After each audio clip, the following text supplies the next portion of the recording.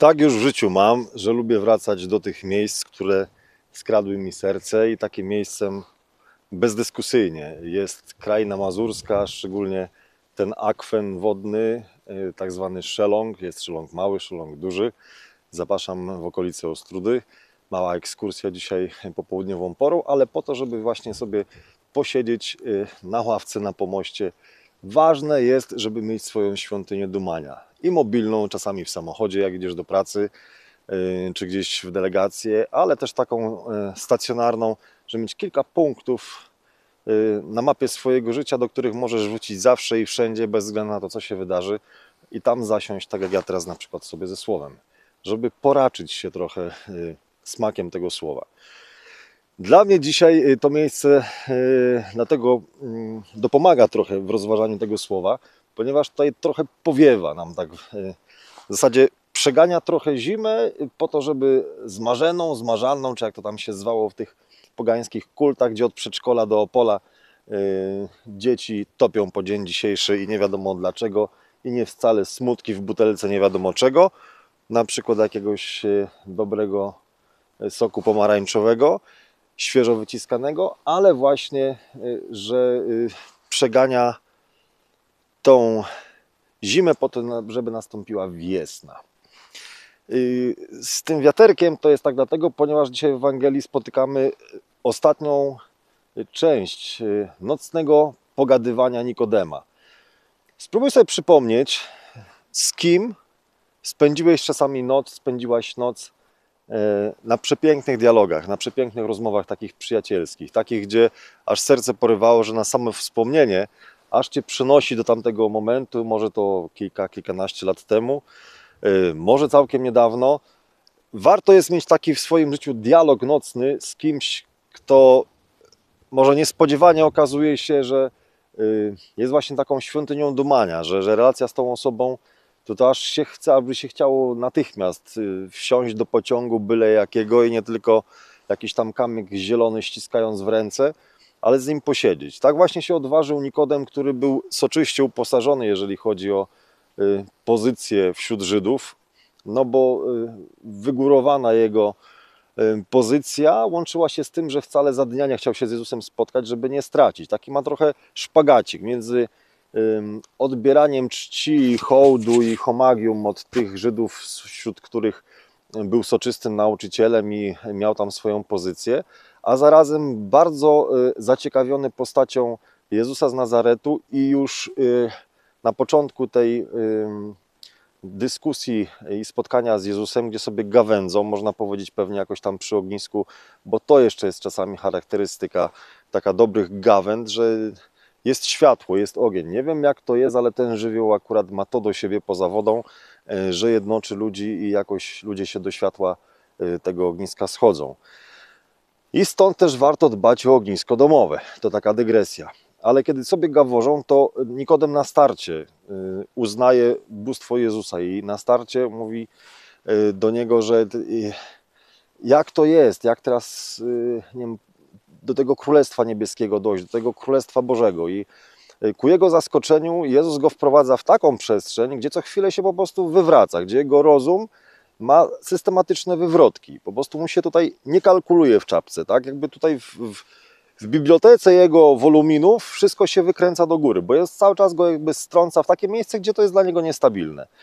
I w końcu mówi mu w samym środku tego dialogu coś przezacnego, co mnie dzisiaj ujęło, jadąc sobie tutaj właśnie przed chwilą jakieś 50 minut będąc sam w ciszy y, samochodowego pokładu właśnie świątyni Dumania, coś co mnie porwało.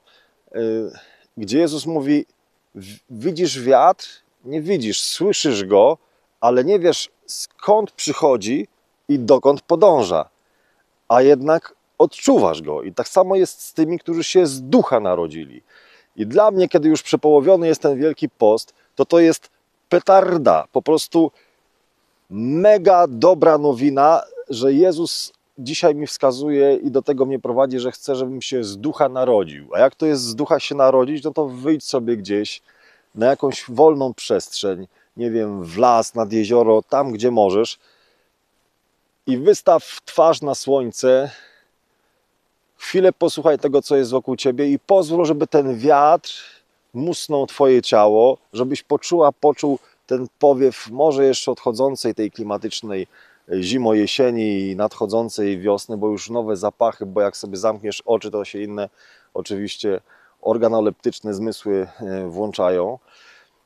Ale niech ten tydzień będzie takim łapaniem wiatru w żagle serca, łapaniem Ducha Świętego przez taką prostą modlitwę, do której Cię zachęcam. Duchu Święty, przyjdź do mojego serca. Duchu Święty, przyjdź do mojego życia, tu i teraz, nic więcej.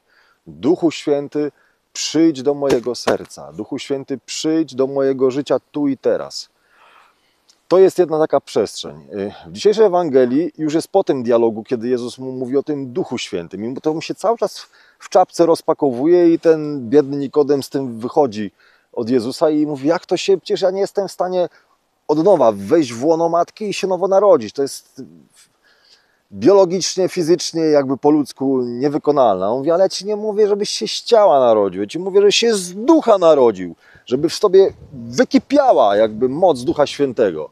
Nie jakby tylko wprost. No i druga rzecz, gdzie kończą y, swoją gawędę dzisiaj między sobą o tym, gdzie Jezus mm, mówi, że jak, jak za Mojżesza wywyższono węża na pustyni, bo historia była taka, że oczywiście ulepili sobie złotego cielca, i kąśliwie tam było wężowisko po prostu, jakie się tylko dało. Yy, I była taka yy, zasada przekazana przez yy, Boga Mojżeszowi, żeby sobie na palu właśnie miedzianego węża stworzyli, na palu miedzianego węża stworzyli i ktokolwiek na niego spojrzy, no to będzie ukąszony, to ocaleje, tak? I w tej Biblii, która jest czytana najczęściej w kościele, z przekładu tak zwanego tysiącletniego, tam jest jak, wywyższona, jak wywyższono węża na pustyni, tak wywyższono Syna Człowieczego. Ale w oryginale, w tej, e, do której zachęcam, żeby sobie może nabyć jako największy prezent na te święta, e, Biblia pierwszego Kościoła, w oryginale e, tłumaczonym przez naszego współbrata Remigiusza Popowskiego jest jak umieszczono wysoko. I teraz chciałbym się tego czepić, jak umieszczono wysoko, kogo i co jesteś w stanie w swoim życiu umieścić wyżej niż ty. To jest pierwsze odniesienie. Umieszczono wysoko, czyli jak wieszamy krzyże w naszych domach, to one są nad naszymi głowami prawdopodobnie, albo na wysokości naszych oczu, ale ponad sercem chociażby, tak? czyli wyżej. Y, w różnych kościołach starszej jakby daty Y, jest w nawie głównym prawdopodobnie taka pozioma belka, na której stoi krzyż i on jest zawieszony jakby w powietrzu, opierając się na tej belce. I krzyż, który pokazuje, że ciało Jezusa jest stycznikiem, bo jest coś idącego z góry i coś idącego z dołu. I to, co łączy niebo z ziemią, między niebem i ziemią, jest ciało, które złożył w ofierze, i z tego ciała wylała się krew i woda w miłosierdziu miłosnym miłosierdziu dla nas wszystkich. I teraz pomyśl sobie, jaki jest stycznik w Twoim życiu.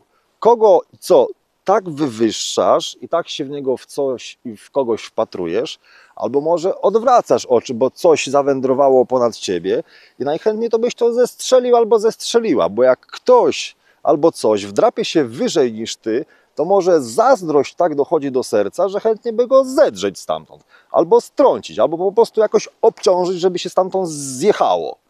No i teraz, niech będzie na ten tydzień właśnie takie pytanie o stycznik. Co jest w Twoim życiu stycznikiem między przestrzenią nieba, a przestrzenią ziemi?